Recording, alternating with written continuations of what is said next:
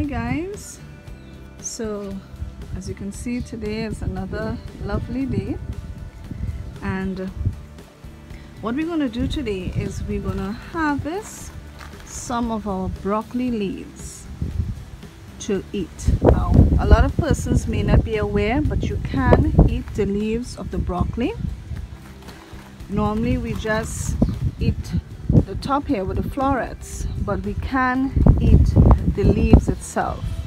So we're gonna harvest some leaves and we're gonna take it inside to cook. Okay so now that we have washed our broccoli leaves we're just gonna dry it.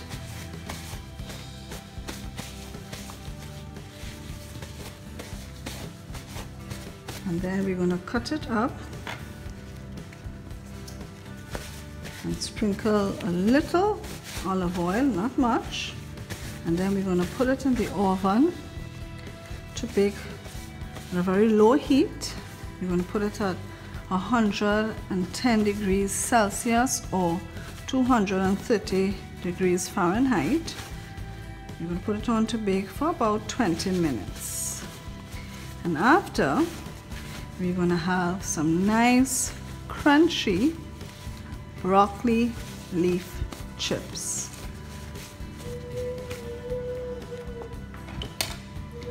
So I'm just going to remove the stem. I'm just going to roughly chop. we are going to use our hand and rip it until the sizes that we want our chips to be.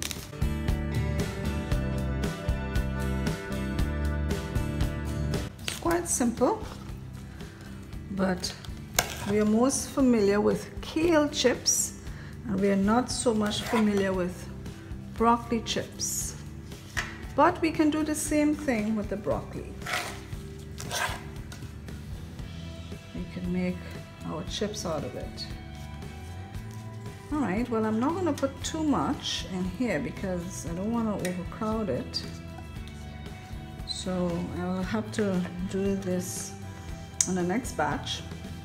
But basically what we're going to do now is quite simply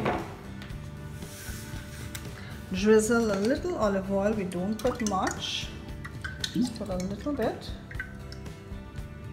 And then I'm just gonna toss it up get the olive oil all over so let's put it back out again. Now, after we have finished baking, then we will add our salt. We're not gonna add our salt now. We're gonna add it at the end. Of course, if you wanna add any other spices that you like, you can do, you can do that. If you want a little more heat, some you can add cayenne pepper um, at this point but we'll add the salt at the end. You could also add some garlic powder if you wish or onion powder if you wish. All right, so let's head over to the oven. So you can see we have it at a very low temperature. And now we're gonna put it on just for about 20 minutes. Okay, so our broccoli chips are now completed. Now, when I had turned off the oven, um, some of the, the broccoli leaves were still a bit soft. I found that it was not um, crunchy enough. So what I did, I did not put back on the oven. I simply left it in the oven so that the residual heat of the oven will help crisp up the leaves. And it's, if you can listen, you can see it's nicely um, crunchy and crispy. So now all we're gonna do is we're gonna season with some sea salt. And that's it. There we have our healthy broccoli chips.